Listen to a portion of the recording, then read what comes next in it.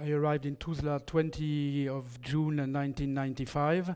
And just to be precise about the, the investigation, the investigation is about the events that unfolded after the 11 July noon. So it's not an investigation about uh, why airstrikes or no airstrikes, not uh, an investigation on the takeover of the en enclave. It's only about the criminal events that followed the, the fall of the enclave. Establishing the facts um, follows a kind of natural chronology. Uh, the first step is uh, reconstructing the events uh, through the interviews of uh, the victims, the witnesses, but also at a later stage uh, through the eyes of the perpetrators who also enter the interview process. Then the second phase is to find uh, the places the, the people are talking about, which is not necessarily very obvious. And all this has to be done in a, in a hostile environment, in work conditions which are not uh, usual in a normal uh, environment. After this, uh, the, the, other additional phase is to process these crime scenes uh, by taking pictures, videos, documenting them, but also taking samples, uh, process all these samples through labs. So that's the what we call the um, technical uh, and scientific police aspect of it. So returning on the thing, this is the map we are going to use. Uh, bottom right is the Srebrenica enclave, and all this uh, territory is in fact the crime scene. So it's a crime scene of 70 kilometers north-south, 40 kilometers east-west, uh, uh, dotted with um, concentration spots of prisoners, detention sites, execution sites, primary mass graves, and then later, as we will see, secondary mass graves. So 11 July, as you uh, already know, uh, population took uh, two courses of action. All those who uh, didn't uh, want to leave the enclave and thought they had not so many, so much to fear from the Bosnian Serbs, left in order to find shelter uh, at the UN base in Potocari. Meanwhile, all the able men, the members um, of the 28th Division, regrouped in the area of Susanjari uh, in order to then uh, break uh, through the lines in through a minefield, so an armed column that left the area during the night between the 11th and the 12th July. The night uh, of the 11th and the 12th in Potocari was quiet. Then, 12 July, the forcible transfer uh, starts through, uh, through this road, uh, first towards Konjevic Polje, then towards Vlasenica, ending up uh, at Kladanj, reaching the Muslim held territory. Meanwhile, um, the, head, the spearhead of uh, the column, which was uh, formed mainly by uh, armed, armed men, could go through the lines at the level of the area of Konjevic Polje towards Cerska, but after that, the area was sealed by the Bosnian Serb army.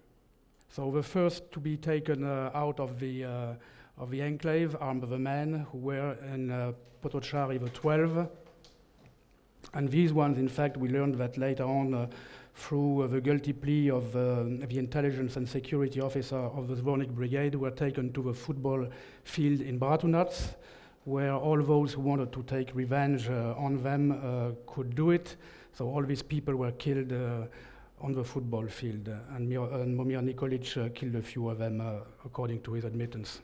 The other ones were first taken to a hangar, which is a hangar behind the, the, the school named Vuk Karadzic. During the night, approximately 50 of them were murdered in this place. On July 13, the evacuation uh, continues, as you, as you know. Uh, during the night between uh, the 12 and the 13, a certain number of uh, murders um, occurred in uh, Potocari. the Potocari area was not designed to be a murder place, but all these murders were done in the effect to scare the population and um, make them, in fact, rush towards the buses and the trucks in order to be evacuated on this, uh, in the course of this transportation, as it was already said, there were checkpoints where uh, the men were taken out, and in case uh, some additional men were, still, I mean, able to uh, to go up to the end, they were separated uh, at um, the, the crossing towards Kladanj, and they were taken to a little elementary school school named Luke. So uh, I will not talk about the fate of the column. This is um, for the criminal investigation uh, part of, uh, let's say, the military history. We will focus on uh, the fate of those who are under the custody of the Bosnian Serb army. So as, as I said, uh, the, all those who could not cross uh, the area towards Nezuk, they, were, they are trapped now in the area in the, of Nova Kasaba on, in the hills. And uh, during uh, that day, the Bosnian Serb army uh, is using stolen equipment from the Dutch battalion, wearing blue helmets and calling the people to surrender, giving fake guarantees of security. So one uh, main uh, surrender spot in this area is uh, the area of Nova Kasaba. The football field we already talked about. This is a, a photograph dated 13 July, 14 hours, where you can see uh, groups of people uh, gathered uh, on the football field, and you can also see buses on the road, and column of buses. Another um, detention spot at this moment, regroupment spot, is the military facility of uh, the 65th uh, Protection uh, Regiment of Mladic, where a few Dutch soldiers were also in custody, and this is how we learned about the presence of of uh, these prisoners, these other prisoners. Additional spot is the inter intersection of uh, Konjević-Polje, uh, where the prisoners were taken either to uh, this uh, hangar that we, you can see on the on the photograph, or to a military facility which is at the at the right of uh, the unit of the picture. Along the road, the people who uh, were in the woods and uh, who uh, decided to surrender uh, during the day of the 13. They were coming downhill.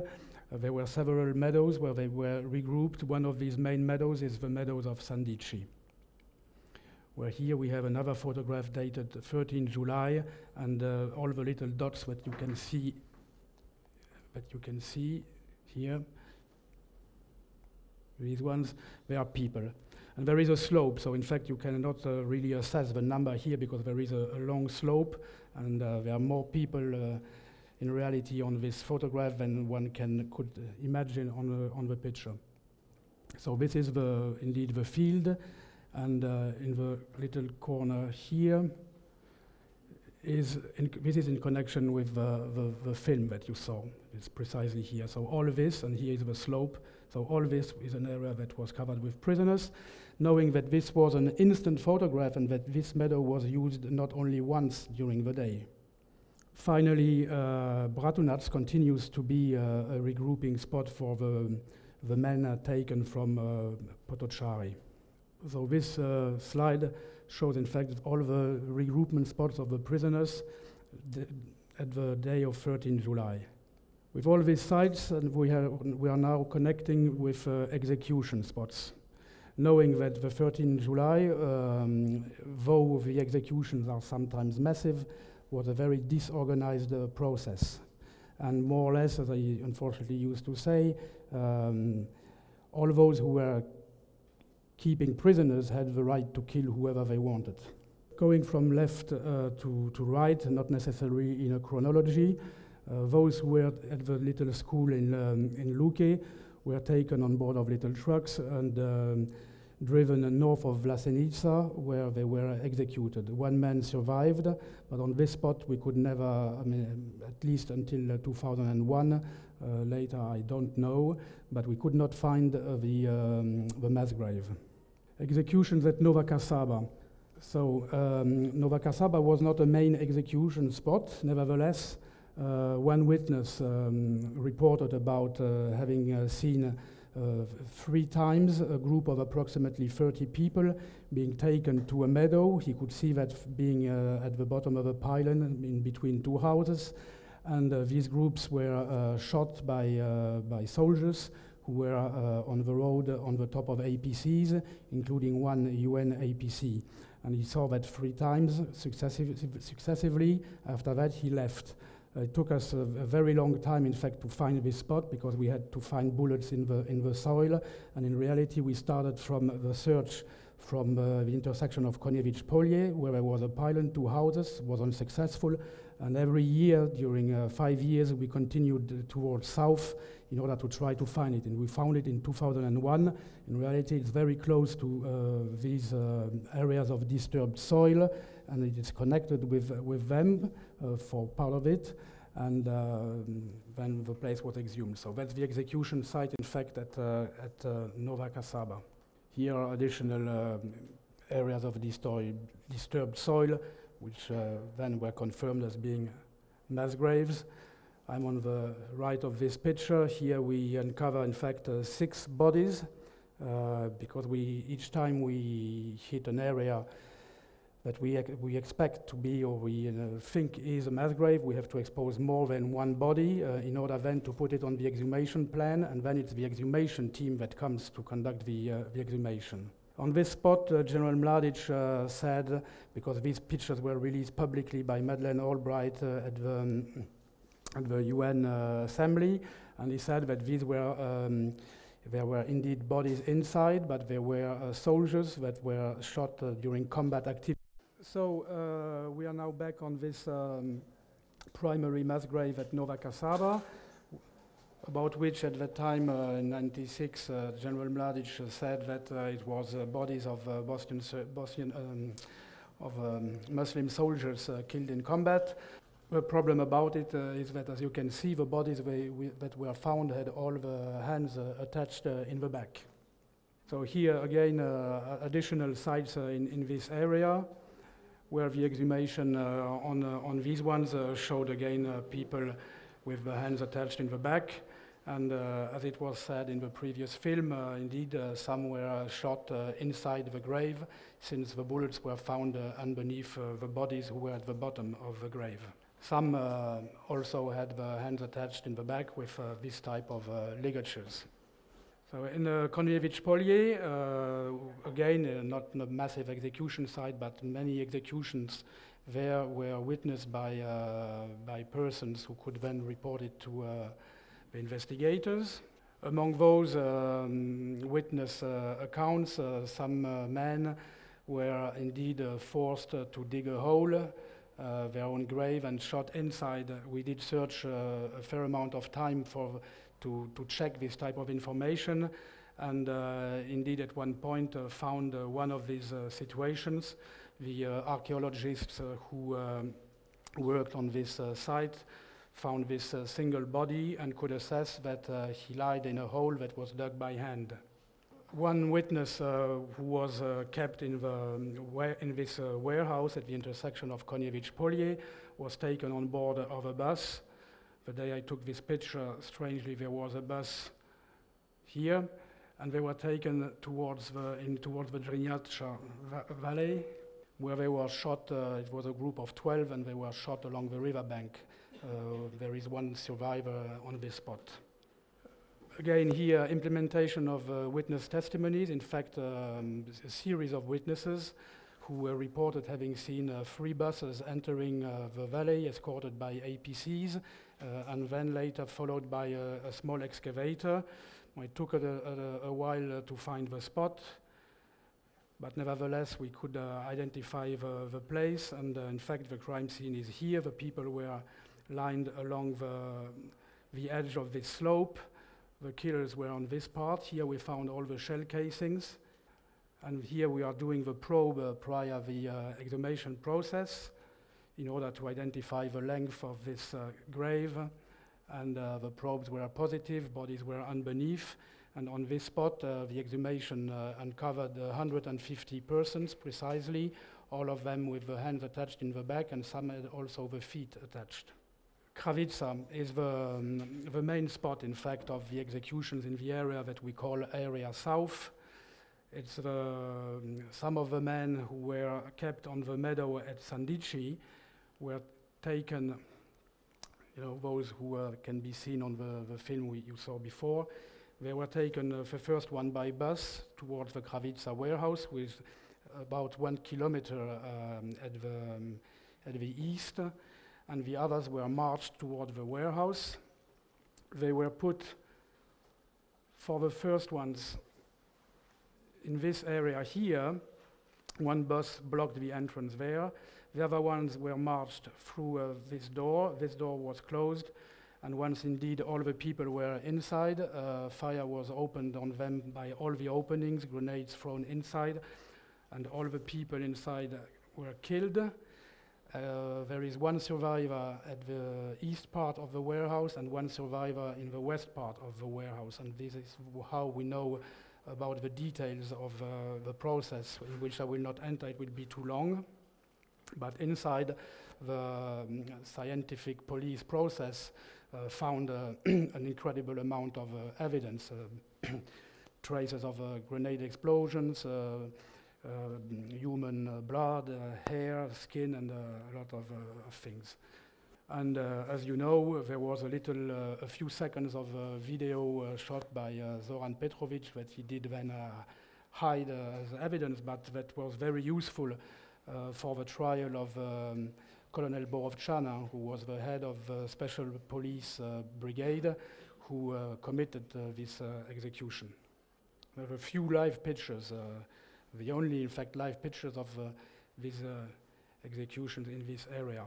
So here now you have a summary of the, the, um, the killing uh, sites in the area south. So at the end of the day of 13, um, all the prisoners who were still uh, stored on these uh, concentration spots were all shipped towards Bratunac. Uh, we know from one witness, uh, who unfortunately uh, never testified because he didn't want, that those, uh, at least on the meadow where he was, when there was no more transportation mean at the end of the day, they were killed on the spot.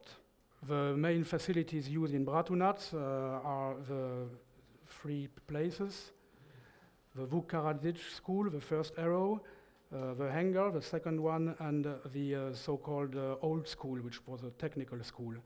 Once all these buildings were full, three lines of buses where, I mean, we could at least spot three of them. One was lined here in, in front of a Vihor compound. One was here in the street and in the front of Vuk School. And the last one was in front of uh, brigade. And there was one also at the uh, exit of the town over there. The reason is that there was no, no more uh, detention facilities in town. The town was packed with uh, prisoners in the evening of uh, 13. So that's uh, the back of the Vuk Karadzic school, that's the hangar where people were already taken, the, the 12, and that's the uh, old school. So indeed, on 14 July, that's when the, um, the organized process uh, starts. The day before, the security officers of the Drina Corps drove uh, north in the area of Zvornik in order to identify detention sites, which in fact are, are schools, and nearby execution sites.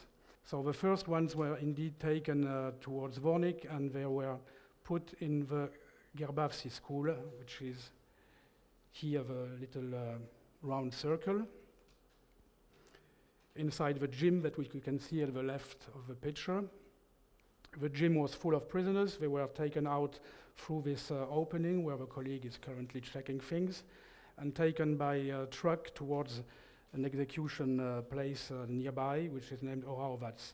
And this is the place where I told you, without aerial imagery, we would never have been able to find it because it's behind the railroad line, uh, the first execution. So here is a picture I told you about.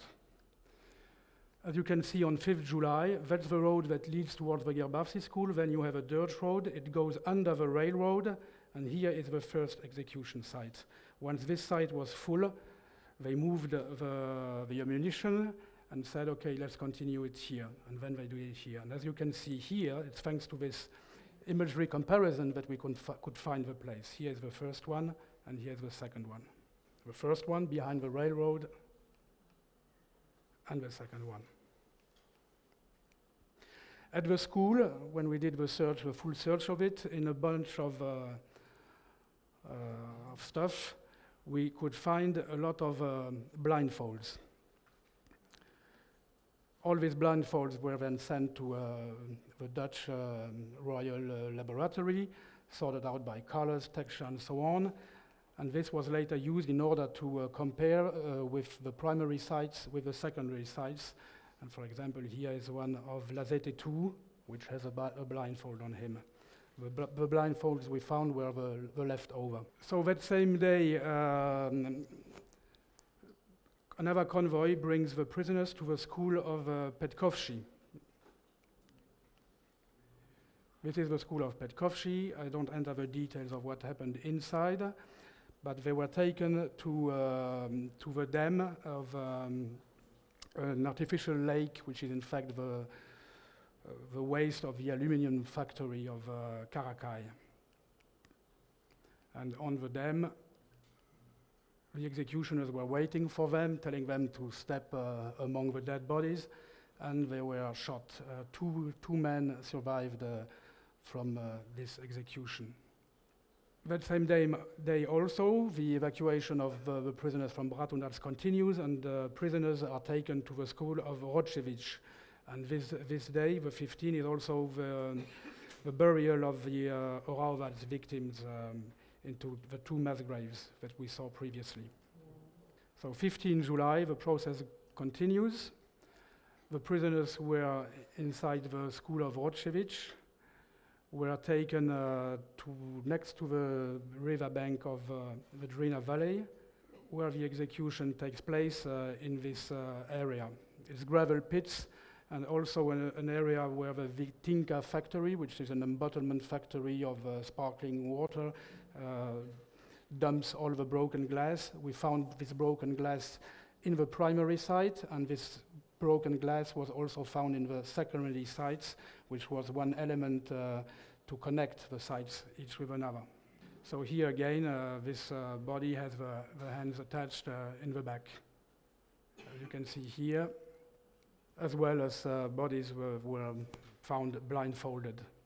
The process uh, continues, and during the day of the 15, a very large column of buses brings the prisoners towards the school of of uh, Luque. The end of uh, the evening, uh, the school was so full of prisoners that when one bus arrived, the people were killed on the spot. They couldn't enter the school. This is the Luque school. As you can see, it's a large school with a very big uh, gymnasium. And the final uh, spot where the persons were taken, since all the schools were uh, of the areas were uh, used and uh, full of prisoners, they were taken to the Dom Culture of Pilica, which is this building here. The following day, 16, the prisoners inside the Luque school were told that they were, would be uh, taken for uh, exchange of prisoners, blindfolded, but they were brought to the nearby Branjevo farm, which is a military farm belonging to the Bosnian Serb army, where uh, a team of killers from the 10th Sabotage Unit, which is a, a unit um, directly attached to the main staff of the Bosnian Serb army, was waiting for them. They were under the command for the, this occasion of the security officer of the Drina Corps, uh, Colonel Popovic, Lieutenant Colonel Popovic. And at that moment, uh, the process of exhuming the bodies continues from south to north. Kozluk are buried there. At that moment, are buried nearby the Drina Valley. So that's a document, a transcript of intercepted communication, where Popovic is calling uh, an intelligence officer who is he at the Drina Corps and requesting 500 liters of uh, diesel in order to uh, continue uh, the work. So that's an additional element that confirms uh, the things. And uh, here is the, the log that we found during the search of the headquarters of the Zvornik Brigade, where we have the delivery of the fuel to Colonel Popovic. And this is the crime scene area. The buses were taking the prisoners through this little uh, road inside, and then they were marched along uh, this place. This was the rest place of the murderers, and then they were lined up in rows and the process continued on a large distance. The burial site we, we will see is there. Again, a body uh, with uh, hands uh, attached uh, in the back. Once this uh, process was over, Popovic came back, requested uh, the team to go conduct the killing at the Pilica Dome of Culture, saying that there were 500 people inside. And this is the, the area. This is the building, and this is the entrance of it. In fact, they started another door going upstairs, and that's from where the shooting started on the people inside. Grenades were thrown under the, the place here where people were hiding. And again, the place was fully uh, processed uh, scientific police. There is no survivor on this spot. Without uh, the testimony of Drazen Erdemovic, uh, we would never have known anything about this crime scene. And the bodies of uh, this um, killing site were transported towards the Branjevo farm to be buried together with the bodies of the Branjevo farm. Branjevo farm, we know from Drazen Erdemovic, his assessment is 1,200. The killings uh, started around 10 and finished at 3 p.m. indeed, as the, the previous film said it. So on 17 July, it's the finalization, in fact, of the burial process. And here we have a picture, it's the only aerial imagery on which we can see uh, bodies. The, the, burial process is ongoing at this moment. The bodies are taken here, beside the mass grave. That's the access ramp, that's the mud of, uh, there is a mound of bodies also. And uh, here bodies that are not already picked up by uh, an excavator who buries them here. So that's all the crime scenes of the area north, and as one can see, uh, 200 meters above the, the last uh, killing spot, uh, it's the borderline of the Drina Corps with uh, the corps which is more north. So all the crime scenes are the on the area of responsibility of the Drina Corps. That's all the detention sites and killing sites and mass graves. That's the mass grave area for all the uh, Srebrenica crime scene on the 17th of July. Nevertheless, indeed, uh, end of September, beginning of October, a massive uh, process, uh, as massive as the killing process itself, starts in order to um, take out most of the bodies of the mass graves, in order to hide them in remote valleys, where uh, it's stuffed of uh, landmines, uh, no returnees, in order to hide them. And uh, leaving inside the primary graves uh, just a little amount of bodies in order to, in case we would find them, uh, make us believe that if the witnesses said the truth, we were tremendously exaggerating the numbers. That's the exhumation at Branjevo.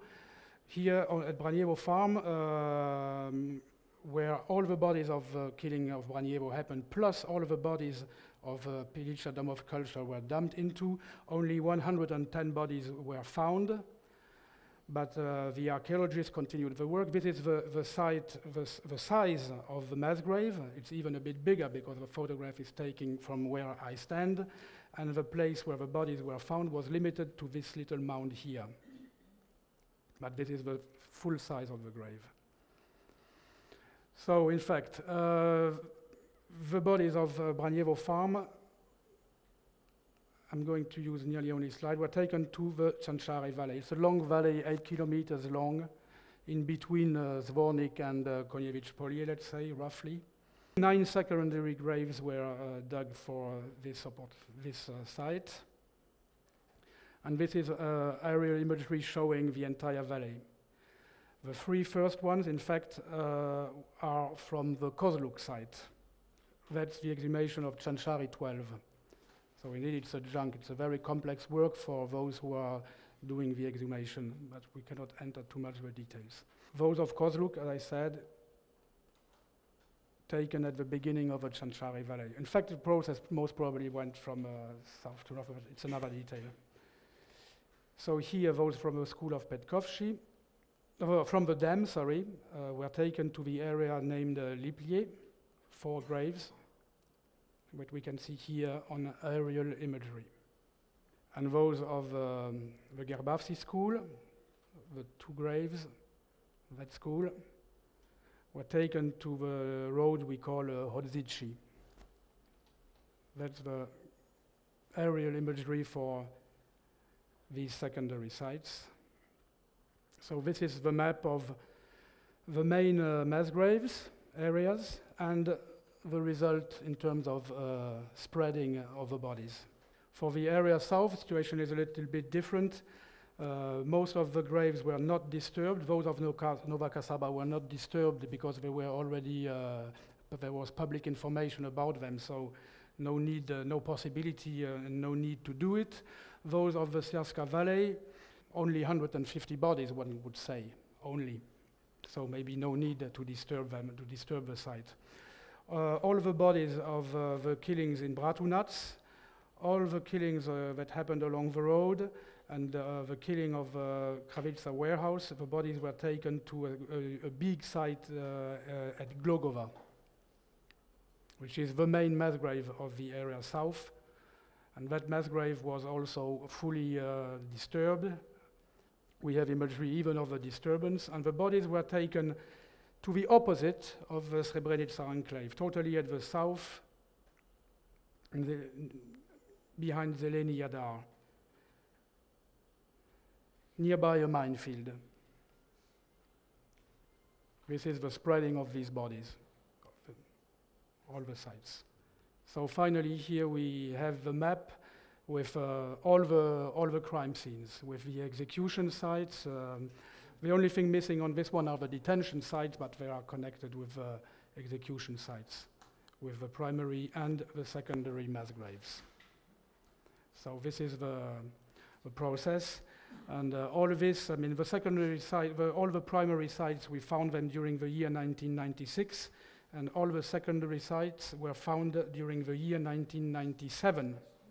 And all these secondary sites were handed over to the Bosnian authorities when I left in April 2001 for continuation of the exhumation. The work of the ICTY on these sites was over in terms of uh, uh, needs for criminal evidence and uh, the trial of uh, all the individuals who were charged uh, for these events. So the, in terms of ICTY, the main responsible individuals.